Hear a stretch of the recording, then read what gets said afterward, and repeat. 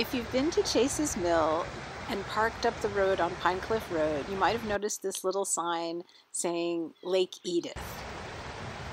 Heman Chase was a surveyor, and in the 60s he had surveyed a huge piece of property for a very wealthy man who owned most of Mount Equinox in Vermont.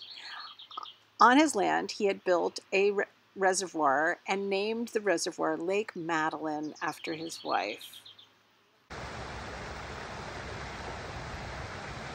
Heman had a great sense of humor, and when he and he liked to build dams. So he built a little dam on the Warren Brook and named the small widening of the brook Lake Edith after his wife, Edith Chase. And Lake Edith was a perfect place for children to practice sailing the little model boats they had made in Heman's woodshop classes.